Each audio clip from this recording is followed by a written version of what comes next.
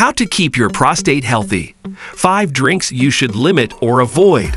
Here are 5 drinks you should limit or avoid if you have an enlarged prostate. Milk and dairy products. Milk and dairy products, such as cheese, yogurt, and ice cream, are good sources of calcium and protein, which are essential for your bone and muscle health. However, they can also contain hormones, such as estrogen and progesterone, which may affect your prostate health. Alcohol. Alcohol can dehydrate you and irritate your bladder, making you feel the urge to urinate more often. It can also interfere with your hormone levels, which may affect your prostate health. Caffeine. Caffeine is a stimulant that can make you more alert and energetic, but it can also have a negative effect on your prostate.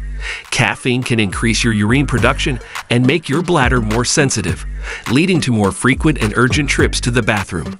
Carbonated drinks. Carbonated drinks, such as sodas, sparkling water, and beer, can cause gas and bloating in your stomach, which can put pressure on your bladder and prostate. Citrus juices.